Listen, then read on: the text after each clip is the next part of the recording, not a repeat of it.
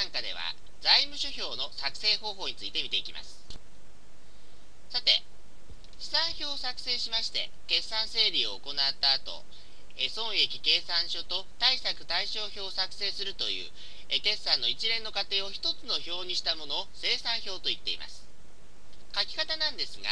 まず勘定科目は資産負債純資産収益費用の順に記入していきます。そして決算整理を行う前の金額を資産表と書いた欄に書いて修正記入欄には決算整理の仕分け内容を書いていきます。そして資産表欄の金額と修正記入欄の金額を足した金額を損益計算書あるいは貸借対照表と書いたところに書いていくわけなんですがえこのうち収益と費用は損益計算書欄に。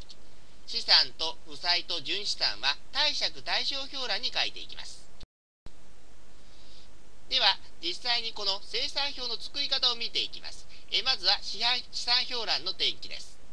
えここには残高資産表の内容を資産表欄に書いていくのですがこれ必ず勘定科目を書く順番が決まっています。え資産負債純資産収益費用の順に記入をしてください。次に決算整理を行いましてその決算整理の内容を修正記入欄に転記をしていきます。書き方なんですが決算整理に必要な勘定科目があれば勘定科目欄の一番下に書いていきます。そして決算整理の仕分け内容を修正記入欄というところに書いていきます。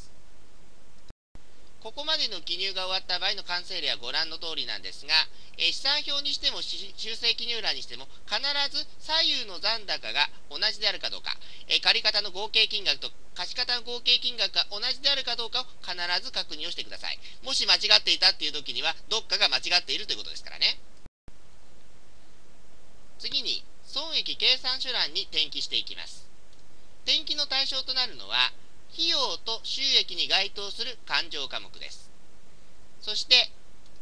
資産表と修正記入欄の合計金額を借方あるいは貸方に記入していきます。この場合必ず左右の差額が出てくるわけなんですがこの借方の合計と貸方の合計の差額が出た場合これが当期の純利益あるいは損失だったりするわけですね。までの内容を記入していくとご覧の通りになります。最後に貸借対象表欄の転記を行います。転記の対象となるのは資産負債と資本すなわち純資産が対象になります。で資産表の